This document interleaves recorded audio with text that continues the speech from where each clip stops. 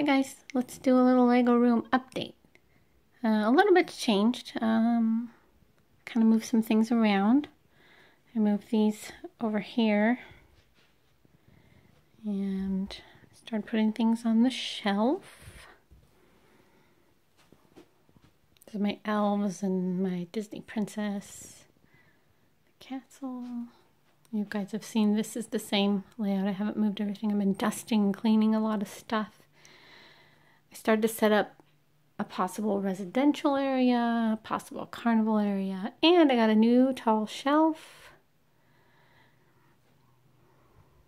And this area is still just a pile.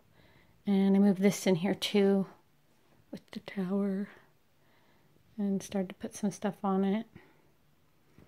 So that's kind of where we're at, right? Yeah, okay. Thanks for watching.